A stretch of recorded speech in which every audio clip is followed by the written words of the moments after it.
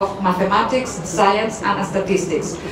To ensure that the future of internet is free of bullshit, uh, it is necessary to recover uh, strategies such as the art of skepticism and critical thinking.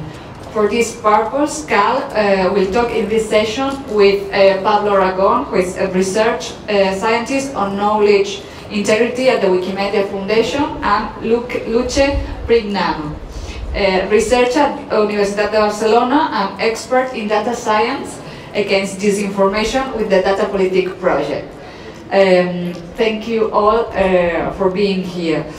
So, uh, we are gonna start with some questions to Carl Bergstrom. Uh, internet and social media have changed the way we communicate in, in many ways. Uh, let's start with one, one difference. Before the internet age, with legacy media, uh, information was both uh, a business, a business and a public service. Now, uh, when we want to when we want to get informed, uh, we rely on platforms that are uh, selling us ads and, and our data. So how has this uh, changed the kind, uh, the kinds of information we receive and the form we receive it? How can we assure accurate information and information as a public service and uh, human right in the digital business age? It's a great question, thank you. Um, I think one of the biggest, and, and, does my microphone work okay? Everybody can hear okay? Wonderful, thank you. Uh, I think one of the biggest, there's this enormous change when often when we think about the way that there's a lot more misinformation out there, it's very natural to blame social media. And that's partly right, because social media is an enormous change, and we can talk about how that's different from traditional media. But there's another, I think, almost equally important change, which is the advent of click-based advertising. Uh, so we've gone from advertising that's essentially uh, based on subscriptions. So the advertising revenue that you get is dependent on how many subscriptions you sell to advertising that's based on clicks. And the reason it matters is when you sell subscriptions, you're trying to sell a long-term relationship with a person. When you subscribe to a newspaper, you're subscribing to the newspaper that you think is going to give you the best content in the long term.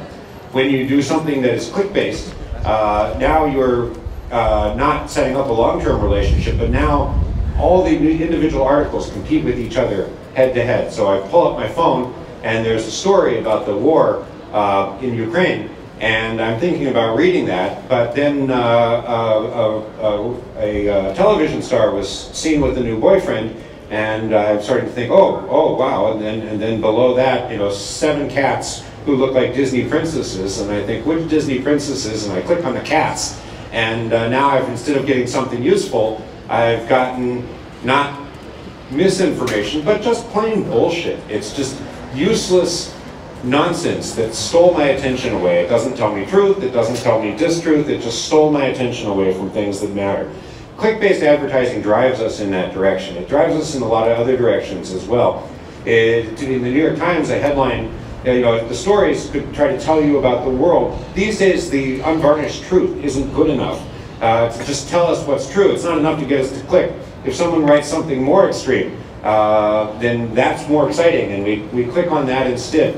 And so people are more interested in, uh, you know, in, in, extreme headlines, in, in fanciful stories, in, in wild stories.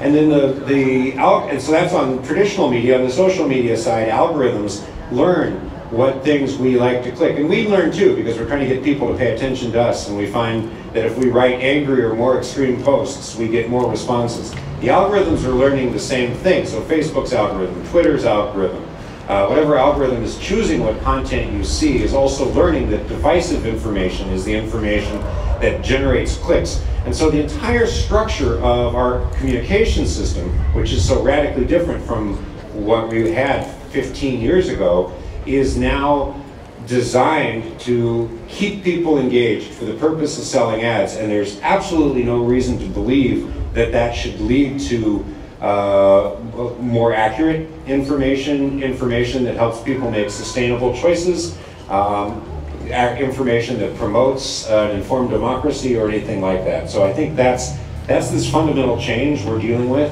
I think it's very hard to underestimate the role of the economic model of click-based advertising that is driving all of this. Um, and I think we need to start thinking about what are alternatives uh, to providing information sources on the internet. Mm -hmm. uh, and more uh, difference, more things have changed. In other times, we, collect, we connected with a, a, limited number of people, we talk with a limited number of people. Nowadays, we can interact very quickly and very easily with millions of people. And in other times, we had little information. Now we have uh, sometimes perhaps too much, yes, too much information.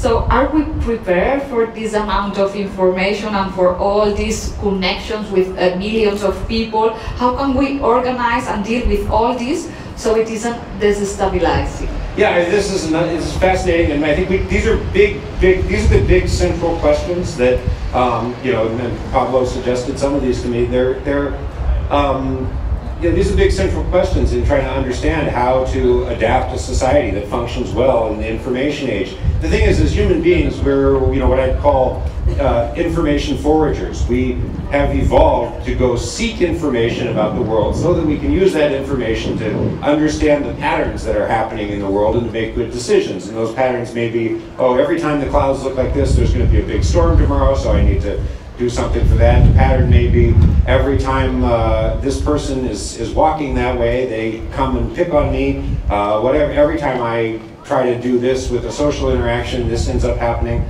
We forage for information constantly. We're trying to figure out what's happening in our physical environments and even more importantly in our social environments. And so we're hardwired to be seeking information. And in the past, that's always been a very sensible thing to do because there was never enough of it.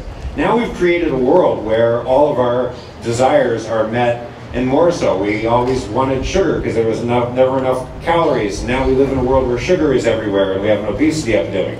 Same thing with information. We have this desire for information. We've created a world where now we can be uh, just, just drenched in a torrent of information.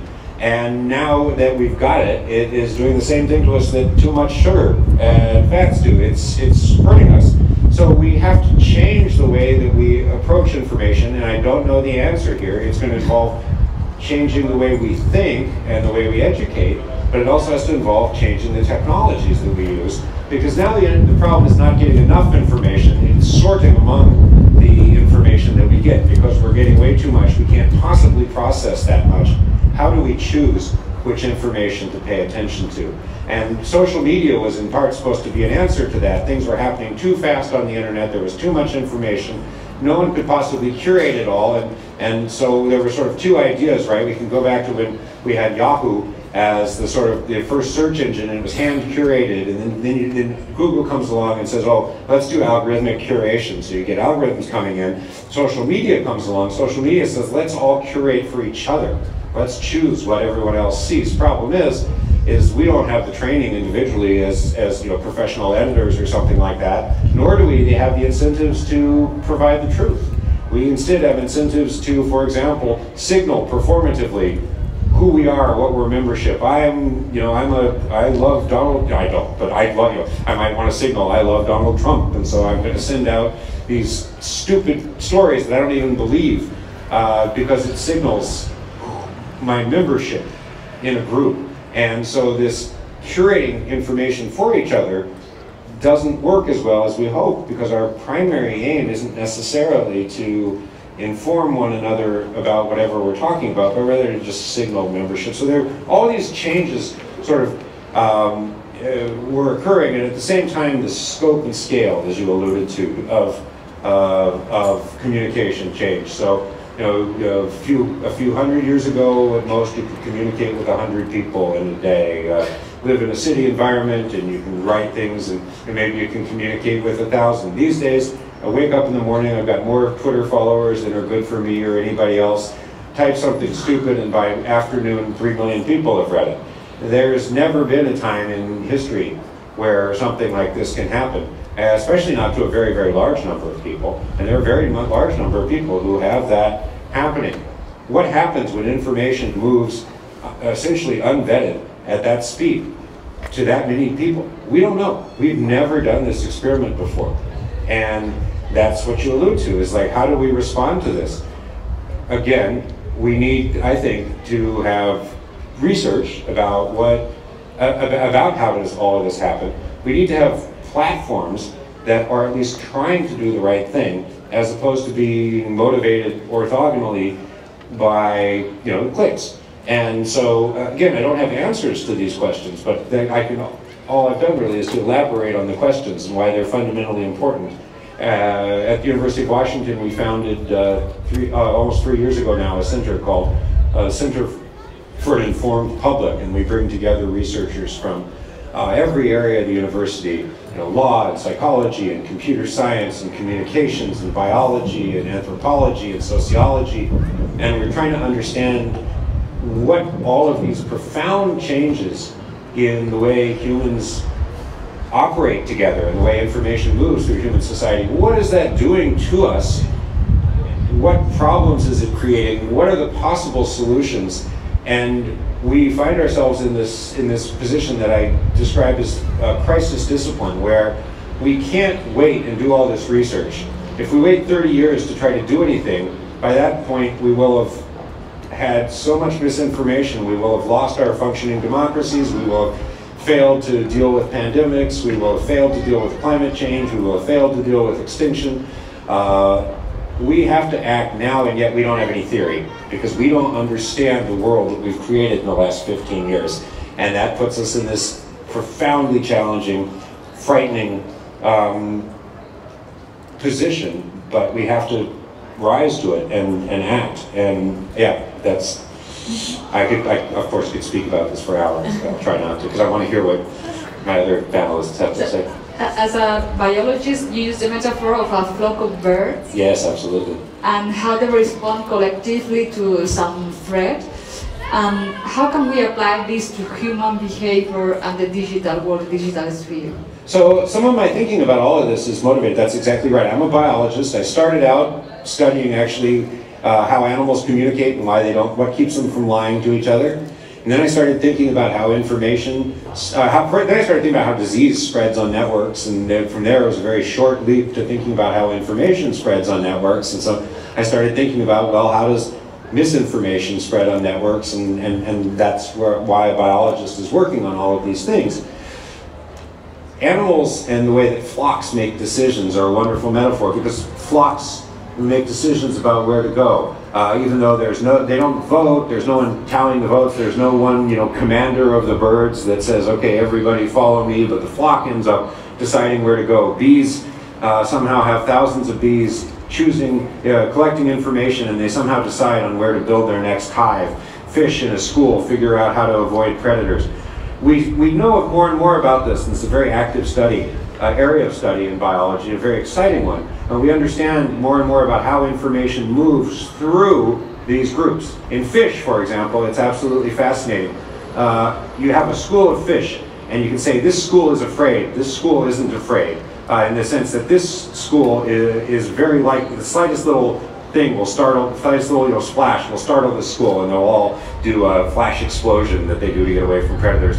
This school over here isn't afraid of splash, they just ignore it. Well, where does the fear lie? Is it in the individual fish? Turns out that it's not in the mental state of the individual fish at all. The fear of this uh, school that is not in this school literally lies in the relative positions and velocities of the fish uh, related to one another. Um, and so the, there's no, the fear that is in the collective, the behavior of the collective, the decision of the collective doesn't lie in the individual parts, but rather in the relations among them. And that's sort of a you know sort of key concept of thinking about all of this is that the uh, I have a colleague who I just flew out um, the day before I came to Seattle came out and he was saying that the the interaction is the new atom. Is when we try to study complex systems. This is this is Brandon Ogbunu and he says you know, the atom used to be, you know, the, the, the our, our kind of fundamental substance, and we, you know, the, the organism was our fundamental substance. Whatever. Now we, the interaction is the fundamental thing that we're trying to study, and that seems to be very, very true when we think about how information moves through networks. It's how the, it's not just who the people are and what the connections are, but it's the rules by which the connections rewire and the way that the rewiring changes, the way that the information that's traveling determines which new connections get made, and, and, and, and, and all of that dynamic uh, change uh, results in how the network ends up behaving. Now the key thing from animals, and one of the you know, frightening lessons from animals is that the, the collective decisions that are made by animals, um, they are very dependent on the size of the animal groups. If you take an animal group, of a school of fish that makes good collective decisions, and you double its size, its ability to make good decisions falls apart. Uh, same thing happens with bird flocks. Same thing happens with, with ants, with ants, with bees. Um, so they evolved to be able to make collective decisions on certain scales. What we've of course done with humans is not double the size, but increase the size of the collective from 100 to 1,000 to 10,000 to all of a sudden 5 billion people linked together on the internet in an idea, a bad idea that somebody comes up with in their basement to try to drive clicks, um, can 24 hours later have reached all of the corners of that 5 billion people linked up together. And the ability of humans to make collective decisions, which maybe we evolved in smaller groups and which we've honed in the rules of setting up representative democracies and all of that, can be threatened by new scales uh, by aggregating up the way that individuals communicate and make and, and sharing the information that they need to make these decisions. So again, this is us landing in a place uh, we're in unknown territory and we don't know. We've made these changes to our world and we don't know what it's doing to us. And the final thing before we bring in my, my co-panelists is that the platforms are making it even harder to figure out what's happening because the platforms have all the data about what we're doing and they don't share it. So as, as researchers from the outside, we cannot get information on what people are seeing, how they're sharing it, who's spreading it. It's very limited and they, and they keep closing it down further and further. So they, it's as if we're trying to fight climate change, but ExxonMobil is the only person that has a thermometer. And they say, oh, trust us, the thermometer is the same as it was last summer. You just think it's hotter. That's, that, that is the, uh, I can use the term, I wrote the book, that is the bullshit that we keep getting from Facebook. The other thing is we don't know what they're doing. What information we see is dependent on the algorithms. The way information flows through the networks is dependent on the algorithms, which are proprietary, which are ever changing, and which even the platforms, frankly, don't have a very good handle on what's happening. So, with the current structure of platforms, it makes this already incredibly hard challenge something that is almost overwhelmingly difficult, and ultimately, and, and we need, and, and this has ultimately has to be very quickly we need to re-envision what platforms look like in ways that we can study them and in ways that they can further human flourishing and individual access to information and, and rights and dignity instead of just selling ads by making people click. Um, so that's, I told you more than I should have, but that's kind of my answer. So uh, at this point, we are going, we are introducing the co-panelists, Pablo and, and Luce.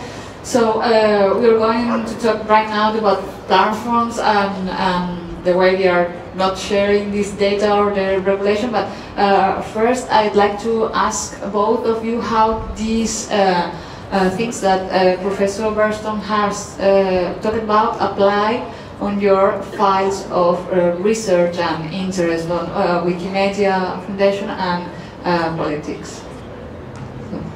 First, okay. Um, so first of all, uh, I come from the from the field of complex systems. This is um, my background is I'm a physicist in origin, and and so I think that uh, our perspective of this is a systemic approach in the sense that we see. Um, information, the informational system as a sort of ecosystem. And so the, the metaphor of the frogs, uh, you know, we are very fond on. Oh, well, for your metaphor, we borrowed it in biology. So. Yeah, this is really the, the even it is it is not related directly to the, the, the field of uh, communication study or information study. Uh, this is something that is a very foundative uh, metaphor the, for the field of complex systems. Yeah. And so, uh, okay, information and communication are complex phenomena, and uh, we approach the study of this of this kind of uh, of topics uh, from this perspective, in the sense that we look at the system as a whole and the, the rules that are governing it. We are uh, looking for uh, more or less general rules that can uh, help us understanding the the phenomenology in a very broad sense. So uh, this focus on on misinformation. Uh, sometimes I have to say that it's a little bit uh, even uncomfortable because it is really really narrow, uh, focused on something that has converted all the field in some sort of um, maybe um, policy making or a sort of uh, recommendation, research for recommendation for the, the um, public uh, or the public authority or some sort of uh, um, government or whatever, instead of focusing in, the, in a broader, broader sense on the understanding of what is happening to us as societies, as in the in the positive and negative aspect, hmm, this is a little bit um, our, our main perspective um, about this. Pablo? Yeah, everything that you have said is uh, so inspiring. I'm particularly very inspired by all this work on how to adapt the nature-inspired models to try to understand collective uh, phenomena. Uh, I'm a computer, uh, computational social scientist. I mean that I'm a computer scientist who try to apply computation to understand social behavior, but uh, all these models, I think we, we have here a biologist, a physicist, so I, I'm not going to occupy, occupy your space as computer, computational social scientist. this is what we do all the time. Yeah, yeah, yeah. everyone. So uh, I, I'm more engaged in the, the part that you mentioned about clicks. So in, in our case, I work on uh, the Wikimedia Foundation. So one of the uh, differential aspects of uh, Wikimedia in comparison to big tech is the economic model. Uh, so it's, it's uh, funded mostly by donors, by private donors, and mostly by minor donors. And this is quite different to the model that Carl was mentioning that are mostly based in selling ads. So I totally believe that the reliability of the internet was dramatically damaged the moment that we start to monetize internet activity by clicks. So it means that any feature that we are applying to platforms under that model means that we need to optimize uh, that click behavior. Uh, I think it was Shoshana Zuboff in Surveillance Capitalism when she said like misinformation has become a feature of those platforms because it's fulfilling economic imperatives. Exactly. So it makes sense, like misinformation makes sense to exist because it's supporting those models. So there's, uh, I think was published in Medium, it was an interview with one of the uh, scientists or main developers on Meta working in recommender systems and how they try to fight uh, misinformation uh, from the uh, perspective of recommender systems. That I think recommender systems are important, and needed. When we were mentioning this problem of information overload, one possible way to mitigate information overload is to deploy a recommender system. The problem is like that recommender system in the end need to fulfill that imperative. So it need to fulfill more clicks. So even that they were, the, and he was recognizing that even that they were trying to deploy features of based on fairness and principles to try to mitigate misinformation, in the end it didn't work because they need to fulfill uh, that capitalist approach. And this is quite different on the aspect of Wikimedia because since we don't need to fulfill that imperative, we can focus on other aspects like knowledge integrity. This based a principle that is based on policies that are designed and evolving over time by their own community. So there is no need uh, to sell more ads or to create more clicks. And I think this is in the root of the problem that we are discussing today. Uh, let's talk about uh, platforms and regulation. We had a very good discussion about uh, uh regulation in the panel before. Uh, let's apply this to disinformation. Um, Professor Carl points out some actions that can be taken about misinformation and disinformation, careful regulation, increased transparency of digital system, and giving people more control over their online information environment. Uh, in Europe, for example, we have uh, the strengthened code of practice of disinformation that will be effective in 2023. It is based on platform self-regulations uh, do you think uh, is that is uh, enough? Well, I think asking Facebook to, uh, you know, self-regulation I'm very, very skeptical about, right? So I mean, asking asking Facebook, we were talking, you know, you were mentioning, uh, you know, Facebook fighting misinformation or something like that. Asking Facebook to fight information is uh, like, uh, you know, asking ExxonMobil to fight for more efficient cars.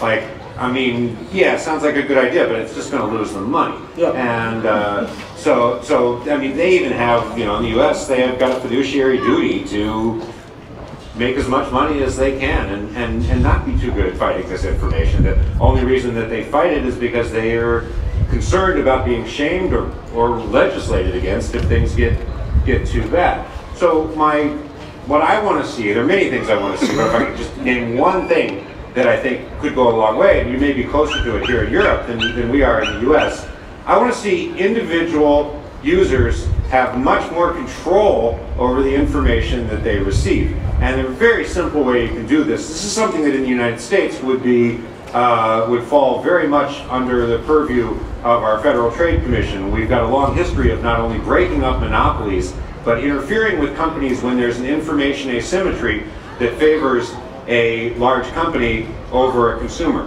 And so we see this very much with Facebook or something like this. That Facebook has an algorithm, uh, you know, Twitter has an algorithm. Each of these, they've got an algorithm that determines what information you see. Even even Google, right? Determine an algorithm that determines what information you can see. I don't think we necessarily want to, you know, break these companies up, or we certainly don't want some sort of external censorship because I don't trust someone in the company or in the government to always be on the right in that. But one of the things that we would profitably do would be give people more choice. So sure, Facebook can run Facebook, but you get to choose what recommend what uh, algorithm determines the content in your feed. Maybe you want to use Facebook's. Maybe that's even the default. But you can use, you know, as soon as you open up this, if you make this a requirement, you say, okay, you guys, we're not going to break you up, but you've got to make it possible for people fairly easily to choose an alternative algorithm. Facebook will have this. So immediately, who's going to jump in? Immediately, Google and Amazon and everybody else, you know, all their competitors are going to jump in, and they're going to provide alternative um, uh, algorithms for your feed. And then the open software community is going to jump in, and we'll have actually open algorithms where you can actually see what they do um, that are that, that, will jump in. And then maybe there'll be private companies that can say, hey, here's my little startup. We've got this good algorithm. It'll give you a better feed than any of these. Uh, $5 a month, you can use ours. But taking these platforms and not necessarily, and maybe we have to do more later, but as a step that's palatable to legislators now, taking these platforms and saying, look, you can you can you can maintain your platform. You're a you know you are a communication service or whatever, but you cannot force people to accept the information that your algorithms that they don't know what are doing is is choosing for them to for them to see because this is having disastrous consequences on our society at the societal level, it's also exploiting the individual at the individual level in a way that in the United States we've got a strong legislative precedence against, and I think you've got even stronger one here. So, that's it. so yeah, th this is a very interesting point because in the end, uh, it's what we are looking for, no? some sort of um, solution or a way out of all this sort of mess.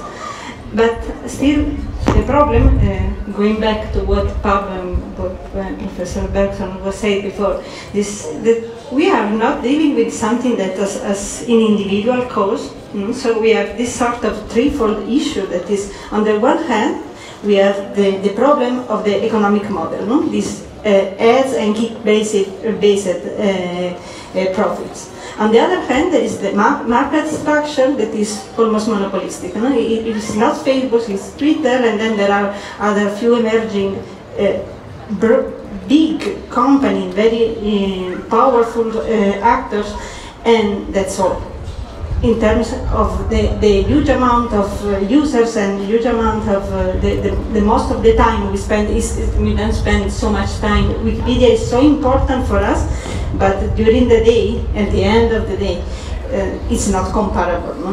The, in general terms, the amount we, we spend, the amount of time we spend in, in this kind of platform compared to, to the other one.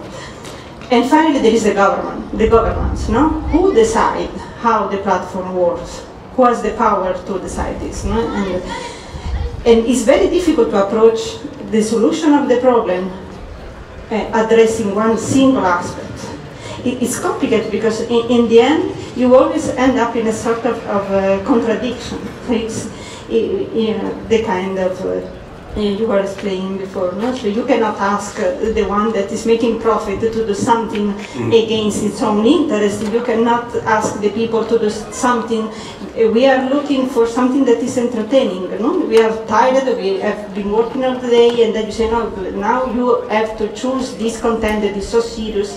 This, this doesn't work. No? Uh, it's, it's so important, right? It's just to turn this a little bit into a conversation, is that people want social media. Yeah. It's like social media is doing these bad things, but people want social media. We can't put that back in the bottle. And we need to find ways to give people social media that doesn't destroy information, right? Yeah. So in, the end, we, we have to, to think about the problem from a, a more uh, global uh, perspective. And, and probably there are actions that we can take so let's imagine that we consider information as a sort of public good, and information is public good.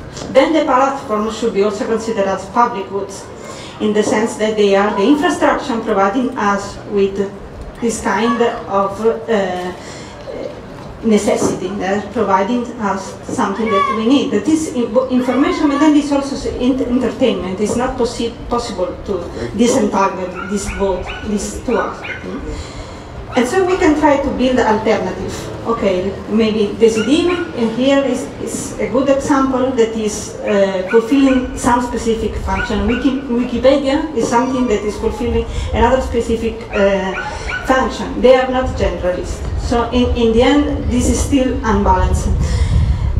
But what happened when we are trying to negotiate something, okay? We know that even if it's just a small portion of users that is treating the platform to leave it, the, the damage uh, this um, can cause is relevant for the platform. But the problem is that in order to have community-based action, you need a community. and so we go back to the starting point, because in order to have a community, you need trust. And trust is under attack all the time. We don't trust each other, we don't trust the authority, we don't trust the journalists. So there are examples of things that have been done that more or less work, but they are always uh, limited. So in the end, the problem is that we are also maybe focusing a lot on the, the issue of the, of the misinformation again, because this is something that is so easy to conceptualize. We have information, we have misinformation, we have two elements, and you can counterbalance these two things and, and say, okay, if we remove the misinformation, then we have information and the solution is there, no? It's so easy. But in the end, it, it's just an illusion, no? You, you cannot really uh, solve this complex cultural and societal issue that we are experiencing nowadays, but, but addressing one thing that is just apparently simple, but in the end is so co in connected and interconnected with anything else that we have to go back and do more, more research with a broader focus and try to understand what's happening in a, in a perspective that is not so focused on the, on the solution of an individual problem and go back to a perspective of trying to understand uh, the uh, informational ecosystem. Otherwise, I think that um, we can still experience something that is useful and then it's, in, in, it's in, interesting, but we are always trying to do small steps. We are achieving something while losing something else. We are still trapped into this this uh, condition It's not easy solution for it. Okay. Well, this is great. I, am going to take pieces of the last intervention, uh, like this idea of the community, governance, and research. Because since we are in Decidim Fest, I think there is a nice story about Decidim that somehow explains uh, that need. So the first time that Decidim Barcelona was deployed, there was a discussion, like in, there was going to be like a participatory process in Barcelona with thousands of proposals, and obviously the main page was not able to uh, solve all of them, so there was a need to develop some criteria for sorting proposals through a uh, paginated uh, view. So there was some discussion on what was the best algorithm for doing so. uh, there was already some awareness, like other similar platforms, they were sorting by the most popular ones according to number of votes, so that was creating preferential attachment. So the most popular were becoming even more popular because they were even more visible. So uh, it was pretty clear that it was not the best approach. Another different approach was sowing them by recency, so sowing the newest ones because maybe they were needed more uh, specific support at the beginning, some momentum, but also they create other kind of biases. So and I, I work on research uh, in that, that kind of platform. So petitions that were published in very specific days when many users were coming to the platform, they were able to grow very fast and then Yeah. become more uh, visible. So there was a discussion on GitHub in, in Decidim on how to address that. It was not solved. And the final decision was, okay, let's do it random. And random is still the criteria for Decidim. So this is one example of how one community one can take decisions and even that they see a challenge or a question, they take decision on how to try to dis- disincentivize non-biases that might affect, in this case, a democratic participatory process. So ideally, for having like an optimal or an acceptable approach, maybe better than random, we need research. And I think this is something that is still challenging, like how we can use these platforms and communities, not only for taking decisions, but also to experiment with these platforms to get evidence Yeah. and how to get well-informed decisions as communities. Because if well, we're talking about Decidim, other platforms have been mentioned, but we think about the big tech, the big tech is the result of massive experimentation. When I say massive experimentation, experiments like some experiment like sowing, like this big experiment done by Facebook, like sowing uh, posts that seems more negative to one country group or the others, and then they even affect uh, mental health of, of participants. So obviously this is not the kind of experiments we are looking for, but we need to set up like control scenarios as committees to do experiments that follow some ethical uh, principles and with those findings getting well-informed decisions because otherwise we are still, even that we have the governance as a community to take decisions, we don't have evidence, I think it will be very hard to create artifacts that are effective for creating like safe spaces for all information or safe spaces for political participation at the city. So for sure we need governance and for sure we need research to guide our governance model. So at this point, we are accepting uh, uh, questions from the public. So now you are all in the shadow, so you can all uh, make questions. So.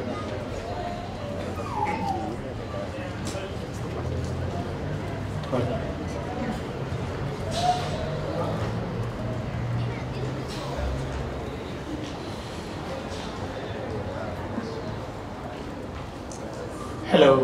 Okay.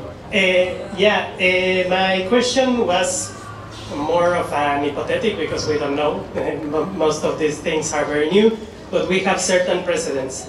Uh, some of the precedents, I think so, it's the cookie uh, policy of the GDPR that was placed by the European Union, trying to control which information do we share with the with the companies and we don't share with the companies.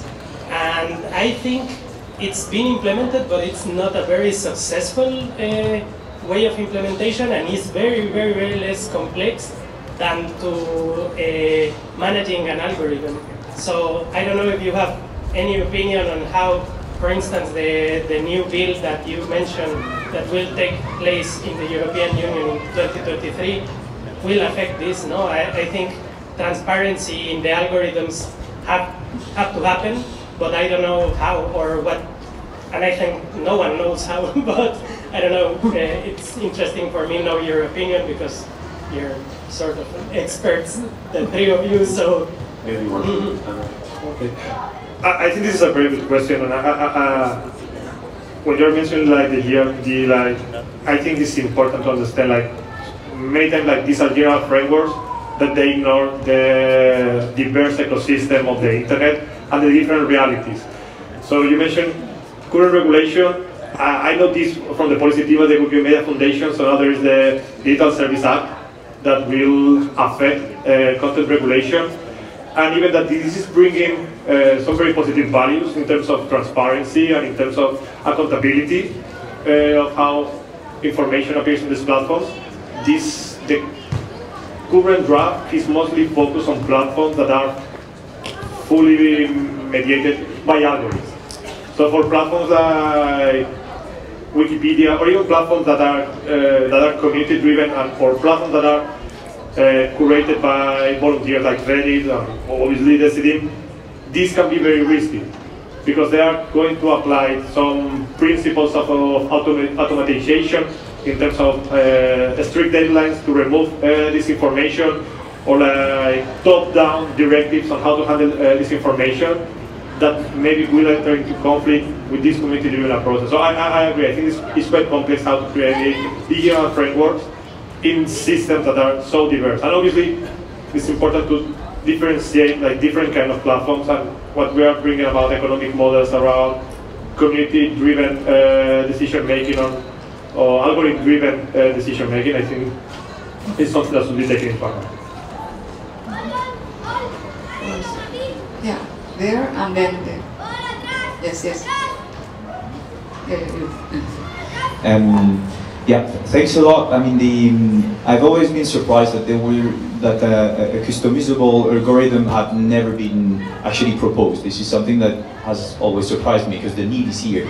I mean, I'm not a really social network person, but I've been on these platforms and it's a, a, feeling of lack of control, which is crazy. I mean, I don't want to see that, and you don't have any control on that. But before being transparent, my question is, is uh, solutions like Mastodon and these decentralized uh, social networks part of the answer, or will it lead to a, a totally fragmented uh, uh network? So is, is, it, yeah, is it a viable solution before having control on the algorithm or not? I don't know enough. If you were able to answer that in enough, in, in, either of you were able to answer that in more detail, I, I don't, I don't know. I'm trying to say something. I'm not an expert about Mastodon, but in general, the problem is that once you have Twitter, it's very difficult to trigger uh, large-scale migration to a similar platform. So it's again a matter of preferential attachments. The people, new people, new users entering the platform where most of the people is, is, is something that is almost natural. Then, uh, okay, you can still do something in the sense that uh, you can create new community, maybe more specific, specific or thematic, and of people that use both, but mostly the other one. And little by little, we don't know because in the end, it's still possible that a platform that is just uh, used by a minority, in the end, people get, get really, really tired and sick of the policy of, of Twitter, for instance, that is the, the, the similar one, and then you have this sort of massive uh, change.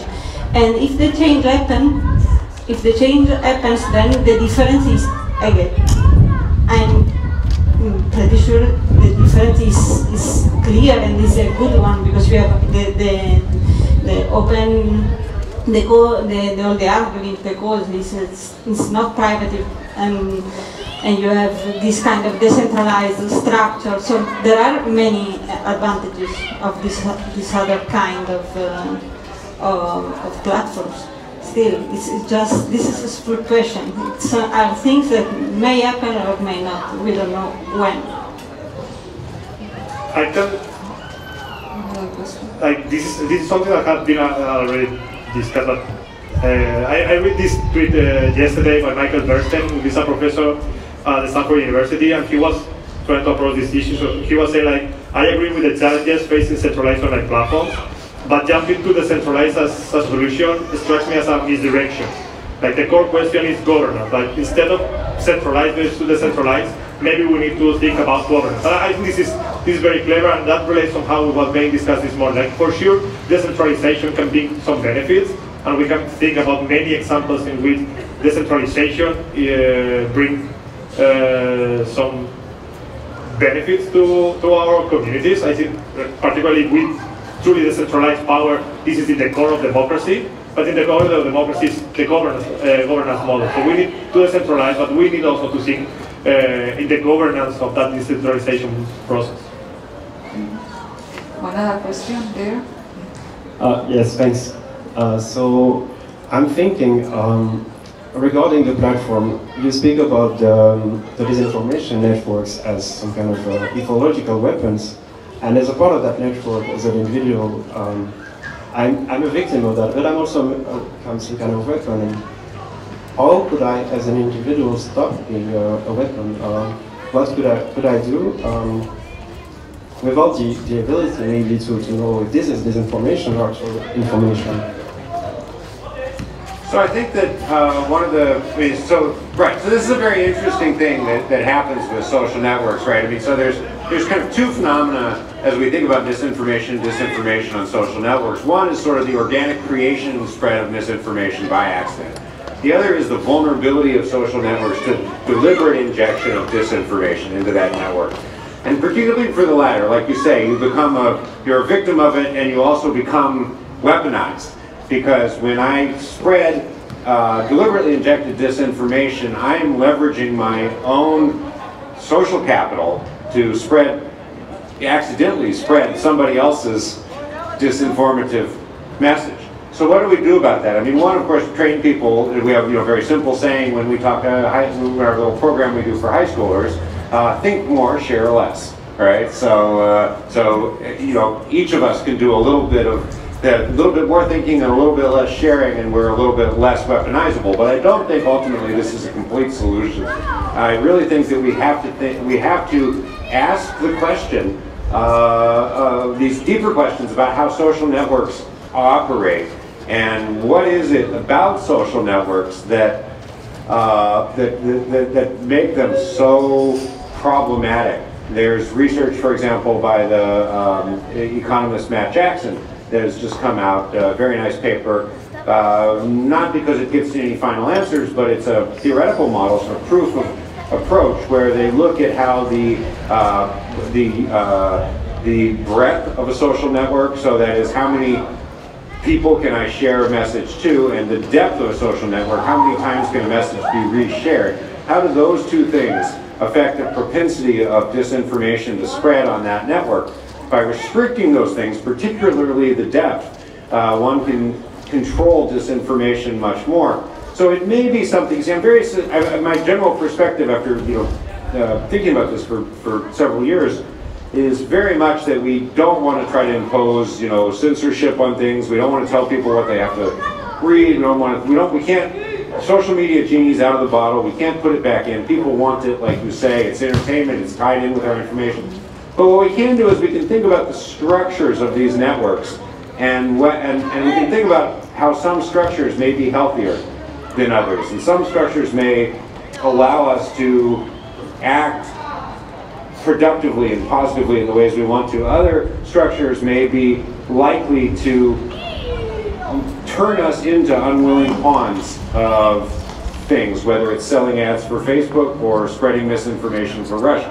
And uh, so I think by I think that for me is one of the really fascinating questions and one of the really urgent, vital questions to think quickly about is how the structures of communication networks affect the kinds of information that moves on them. Thank you.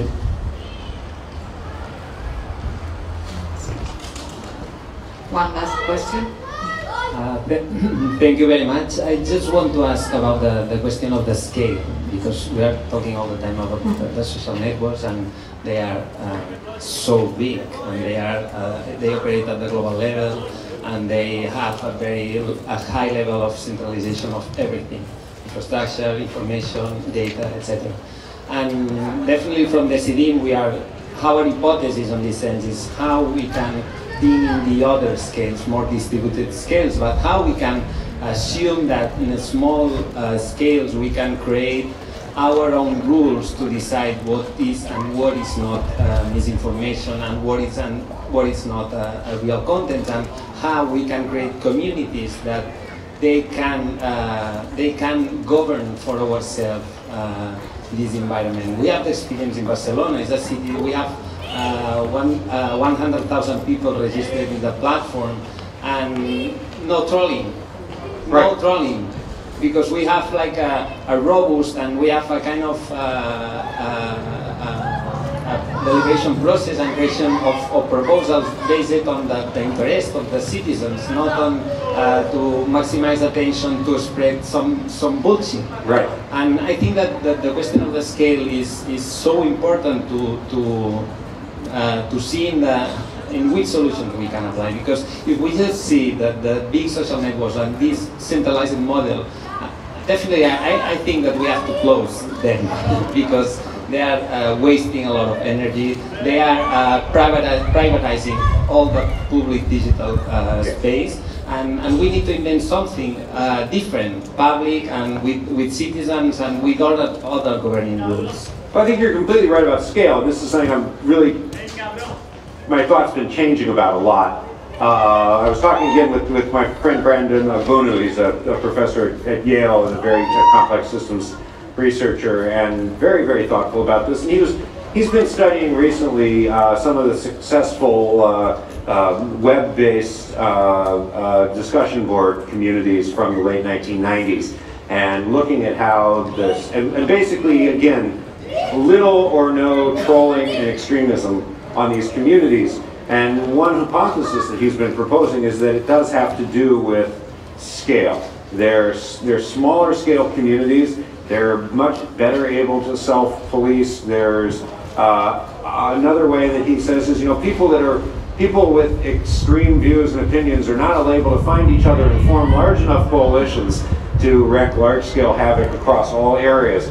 So because the, uh, you know, he's studying, for example, uh, you know, sports fans, uh, hip hop uh, music forums, things like this. And if a group starts to create trouble on the hip hop music forum, they can't then export that trouble to all the other forums because they're separate, right? And, and so there is this scale issue that's so fundamental. I haven't really appreciated this adequately a month ago, so I don't want to say much more except for that I really sympathize with what you're saying, and I have a lot of hope for smaller, decentralized platforms. I guess the final thing I'd say about this is we talk about social media, social media, social media. There's nothing social about me being able to get up in the morning and write something stupid that 3 million people have read. That is not a social thing. That is broadcast technology. Straight and forward broadcast technology. Social media is me talking with 100 to 200 people, max. And so I think we need to think about what is it that we want? What is it that people want when they're looking for social interaction? And what is it that people want when they want broadcast technology? And maybe there are ways to decouple these that will be useful and powerful uh, so that people don't play the social power games on broadcast technologies uh, that we now suffer from. So, uh, yeah. Okay, maybe I add something because really I'm under the pressure that when people, when you say this kind of thing, is something like, okay, this planet is too polluted, let's leave it. Okay, so it's very nice that Decidim exists, that Wikimedia uh, and Foundation is uh, operating, and there is the Wikipedia and all this kind of stuff. But still, uh, there are masses and masses of people that are looking for entertainment. They are not in a small community, they are maybe nerd of something and they need to go to stranger on the other side of the planet, uh, people that they don't even know in the beginning that they, were, they are interested in that thing. So the, the, the function that the generalist uh, platform is playing, the, the, the kind of service that this platform is providing, is not that something that can, be so easily replaced by other kind of environment that are necessary, necessary and beautiful and extremely um, it's important to preserve and to improve those kind of environment. but they are not the same thing. It's, it's, something that is completely different.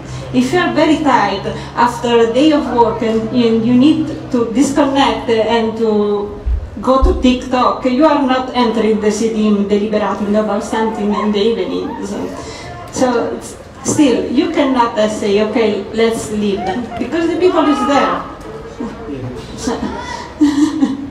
So, finally, like in terms of these kind of questions of the scale, I'm going to repeat this, but we honestly need more research to, really, to answer these kind of questions. So thanks to our colleagues Buru Aguilo and uh, Frank Keller, we're going to open in Decidim a space for research.